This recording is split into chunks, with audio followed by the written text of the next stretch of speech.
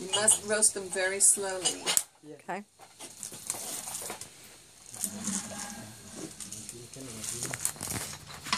What kind of beans are you roasting, Lillian? Uh, this one, the Luwak coffee bean. the luwak. Yeah. Luwak coffee, and you know where it came from. Where does it come from? From the poop of the mongooses.